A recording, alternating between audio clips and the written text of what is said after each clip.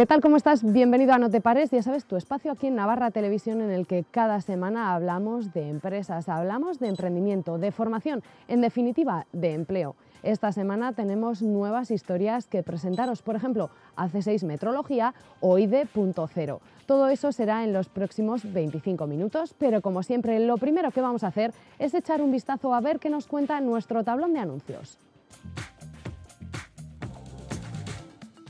Comenzamos el repaso a nuestro tablón de anuncios con una oferta de empleo para un gestor o gestora de proyectos en Pamplona. Se requieren estudios en ingeniería técnica o superior, mecánica, eléctrica o telecomunicaciones, así como el dominio de herramientas informáticas, nivel alto de inglés y disponer de vehículo propio. La empresa ofrece un contrato temporal a jornada completa con posibilidad de pasar a indefinido. Para inscribirte, manda un mail a la dirección que estás viendo con la referencia gestor de proyectos.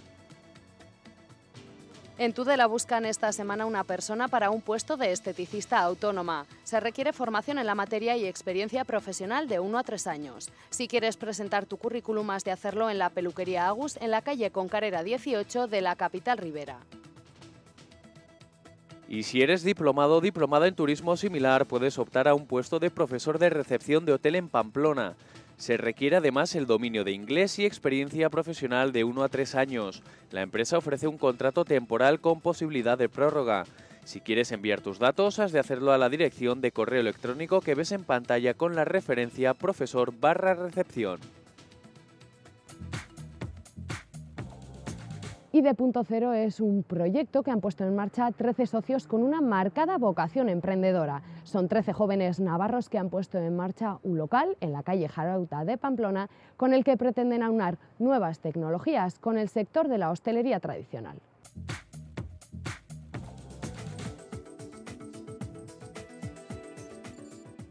Bienvenidos a ID.0, el primer bar tecnológico de Navarra situado en la calle Jarauta número 28.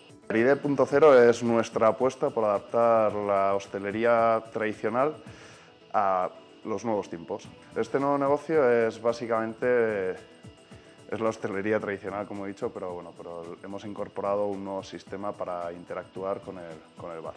El cliente cuando llega a nuestro local dispone, además de los recursos de siempre, que es acercarse a la barra, a pedir o que le sienten en una mesa, eh, dispone en cada mesa de un iPad con el que puede gestionar un usuario propio, poder pedir desde la mesa sentado sin tener que estar al tanto de eh, que el camarero le haga caso y, poder tomarse su consumición sin tener, sin tener que estar pendiente del camarero en sí. Este proyecto nace, nace bueno, pues como un paso lógico de 13 amigos que pues teníamos muchas inquietudes, nos habíamos juntado, siempre hablábamos de distintos proyectos y, un día, pues entre muchísimas ideas que teníamos, pues surgió esta. Empezamos a, teníamos en mente este local y empezamos a decir, joder, y si hacemos esto, hacemos lo otro, eh, al final empezamos a decir, y podemos poner un iPad en cada mesa, imagínate, sería la bomba. Y poco a poco fueron un brainstorming que fue creciendo, creciendo y al final dio lugar a lo que hoy en día es IDE.0. Somos 13 socios, pero sobre todo somos 13 amigos. Al final es un grupo muy heterogéneo, pues hay desde ingenieros, informáticos, arquitectos, eh, mecánicos. Somos un grupo muy heterogéneo y al final es cada uno aportaba su granito, su punto de vista, su visión, su, experiencia en la vida y íbamos avanzando hacia un camino que poco a poco fue creciendo, fue creciendo y se fue convirtiendo en lo que es hoy en día. La verdad es que en el perfil de muchos de nosotros ya estaba el carácter innovador de emprender. Teníamos varios socios que ya tienen a sus espaldas pues, varios proyectos importantes. Nosotros como socios también ya habíamos, ya habíamos llevado adelante alguna pequeña, alguna pequeña empresilla. Eh, por ejemplo, en esta misma calle también tenemos una sociedad gastronómica que abrimos hace tres años y que nos sirvió un poco como primeros pasos y pasos de inspiración para lanzar adelante este otro proyecto.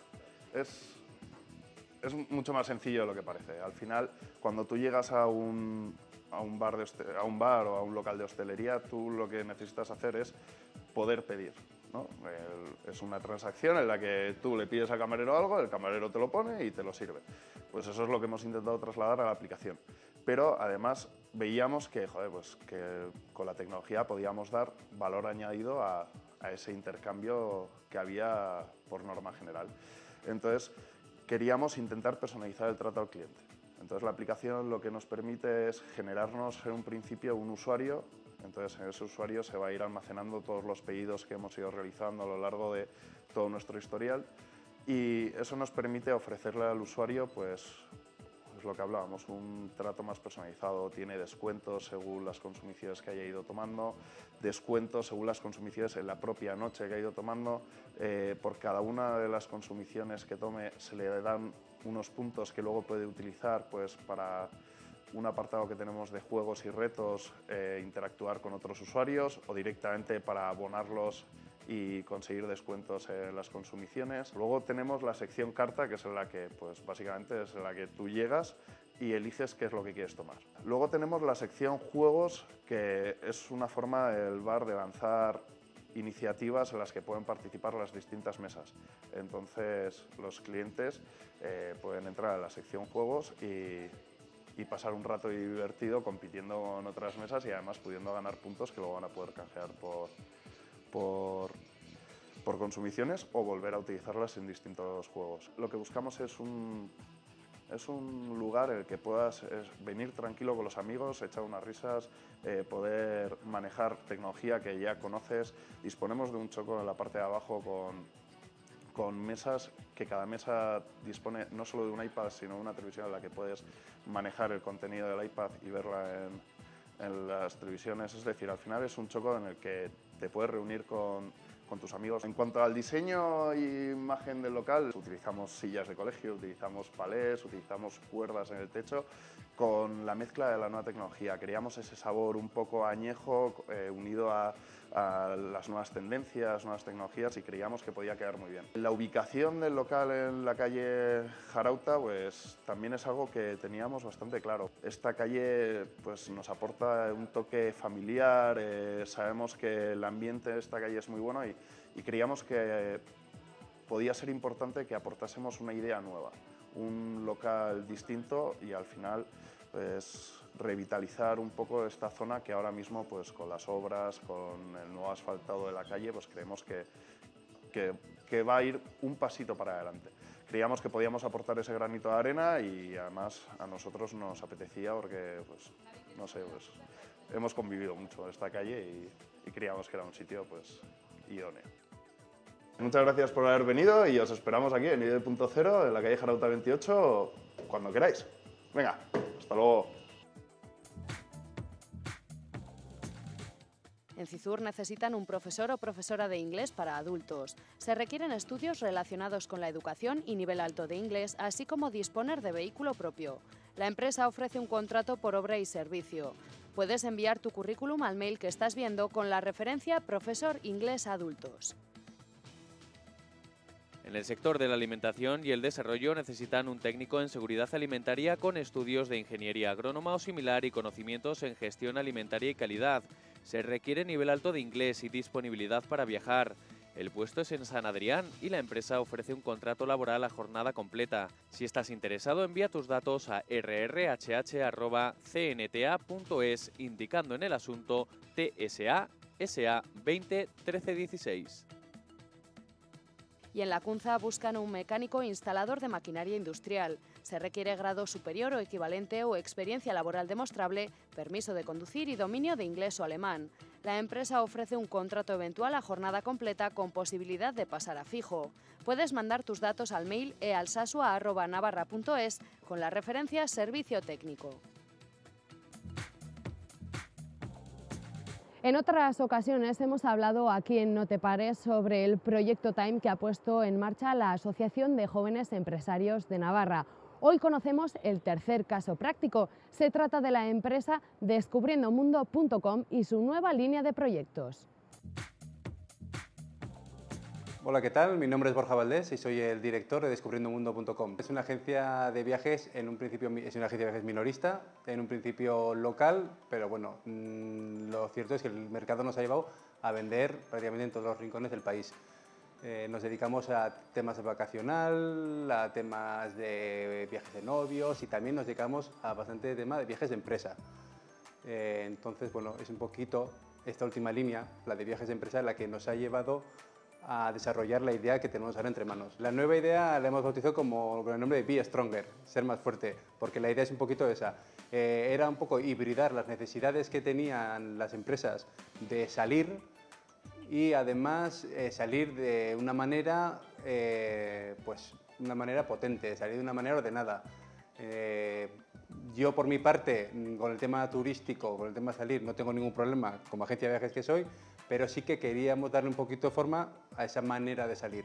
Queríamos potenciarlo, queríamos que, eso, como yo decía, no salir de cualquier manera, sino salir pues, con un buen programa, con una, con una calidad, unas garantías y esa es la parte pues, que aporta mi, nuevo socio. Las empresas hoy en día necesitan, necesitan por un lado, eh, optimizar, optimizar a sus grupos de trabajo, a sus equipos, bien sean directivos, comerciales o lo que sea. Entonces, existen unas técnicas que no hemos inventado nosotros, como son el coaching, como son el team building, el outdoor training. A algunos les sonará chino, a otros no, porque ya tiene, ya tiene unos años de, desarrollo. Entonces, la idea era un poquito, pues eso, pues hibridar la manera de salir eh, con, la de salir, con la de salir de una buena manera preparados.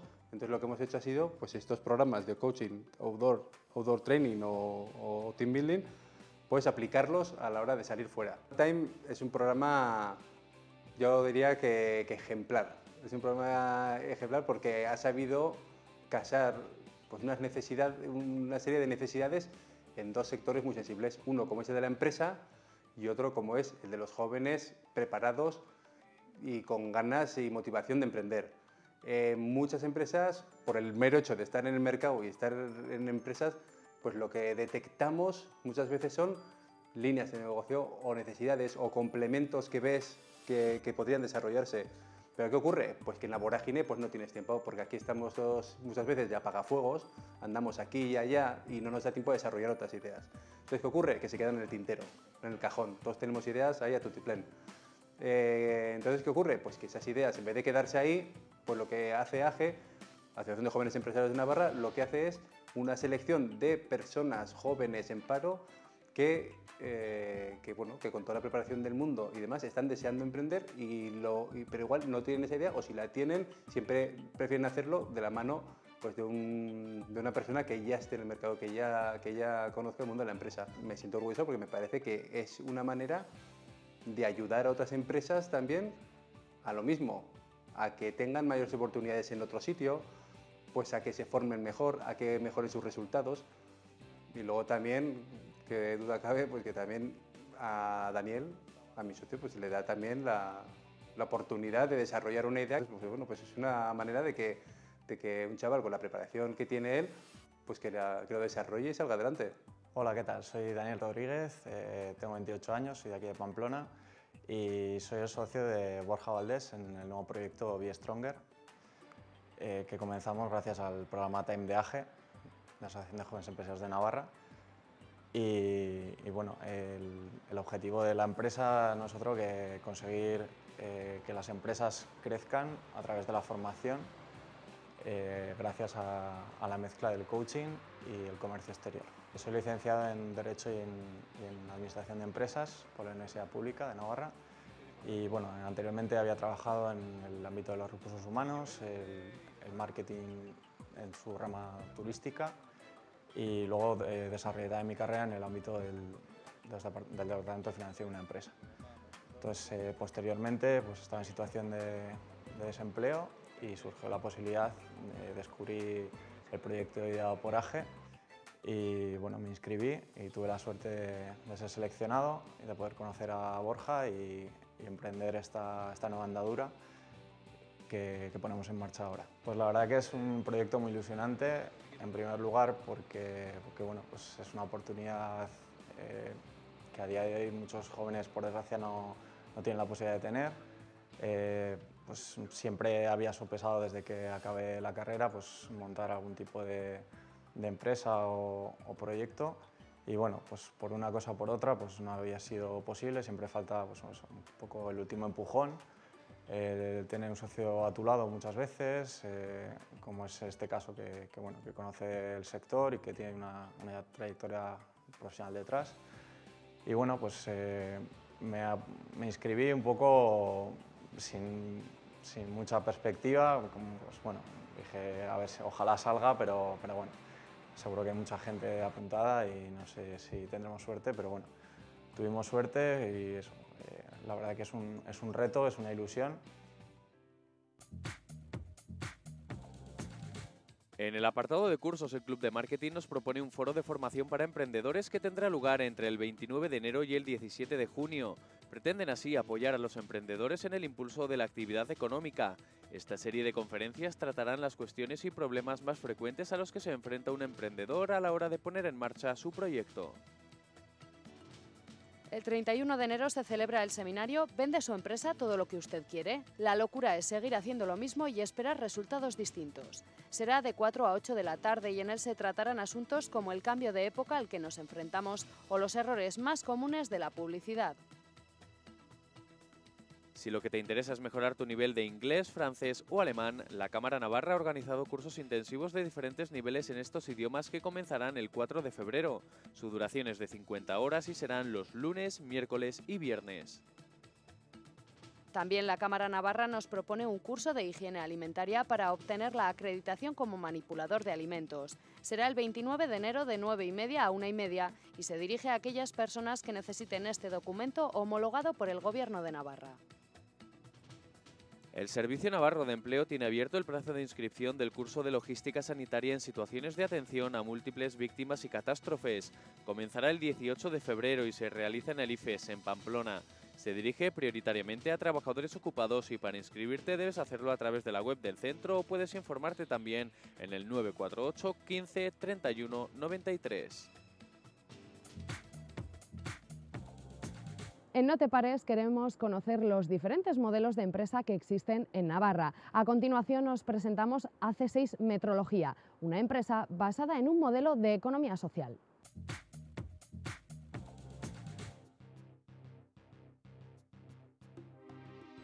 Hola, bienvenidos a AC6 Metrología. Soy Ángel Martínez y os voy a hacer un pequeño recorrido por la empresa para que la conozcáis.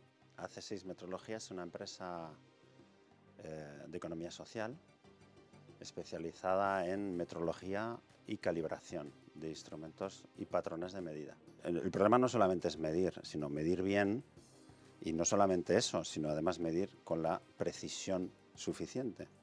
Es decir, saber que esto o pesa, por ejemplo, 5 gramos, pero eh, afinando al máximo posible, para que os deis un eh, cuenta un poco de la importancia que, que, la metrología tiene en nuestra vida cotidiana. Por ejemplo, vamos a una estación de servicio a servirnos gasolina, gasoil, y nos gustaría entender y saber que eh, cuando pedimos que nos suministren 20 litros sean exactamente 20 litros y que la diferencia respecto a esos 20 litros sea muy pequeña.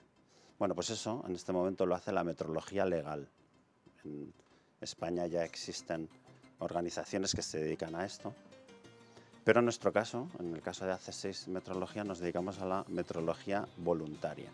Sería lo mismo que estamos hablando de esto en la vida real, pasarlo a una empresa industrial donde, por ejemplo, pues un determinado eje tiene que tener un diámetro de 20 milímetros para facilitar que ese eje luego se introduzca en otra pieza con el mismo diámetro y se garantice la montabilidad. ¿no? AC6 Metrología nace en octubre del 2003, del año 2003, eh, a través de un spin-off de una empresa pública como era en su momento CETENASA, Centros Tecnológicos de Navarra.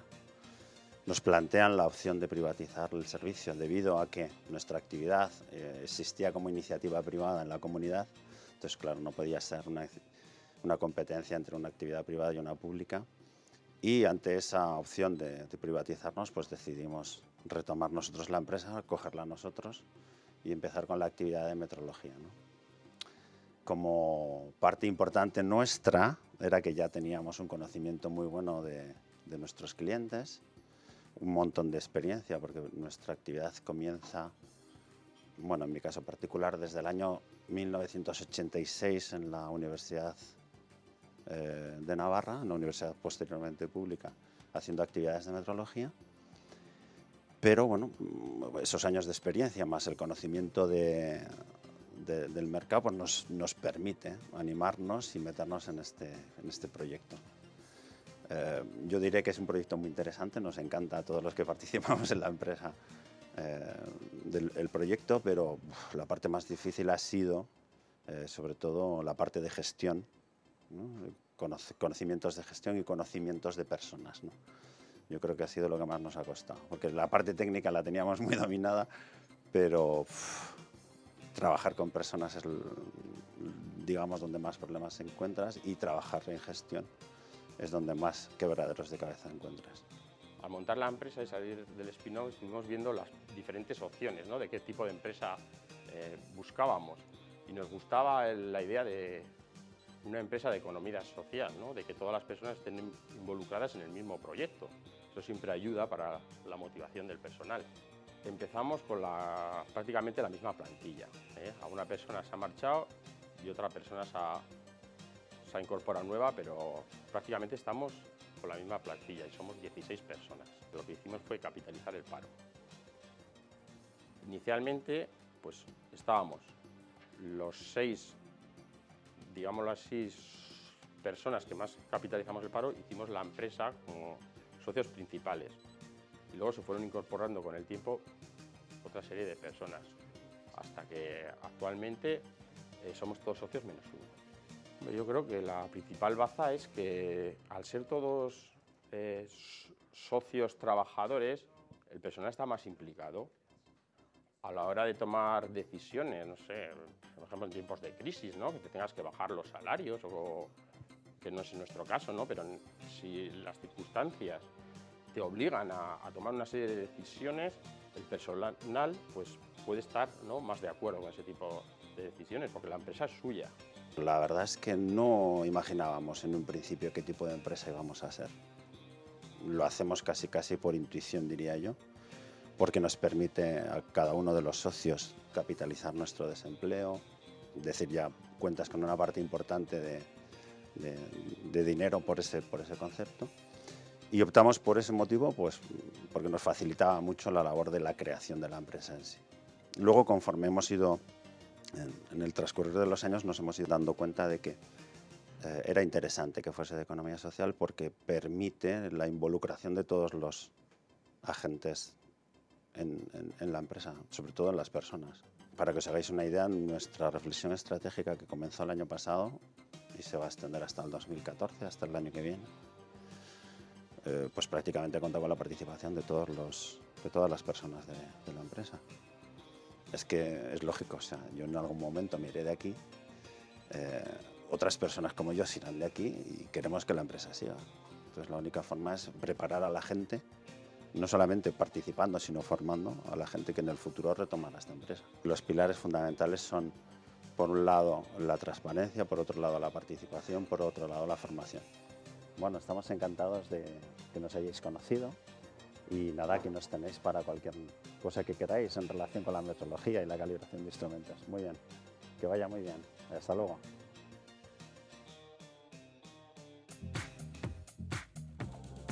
Y con la historia de AC6 Metrología y su modelo de economía social terminamos nuestro No te pares de esta semana. Como siempre, muchísimas gracias por habernos acompañado al otro lado del televisor y ya sabéis que tenemos una nueva cita aquí en Navarra Televisión dentro de siete días. Y como no, por cierto, también nuestro correo electrónico notepares.natv.es si es que quieres presentarnos tu historia o la de alguien que conozcas. Estaremos encantadísimos de recibir vuestros emails. Muchas gracias de nuevo y recordad, sed felices. Adiós.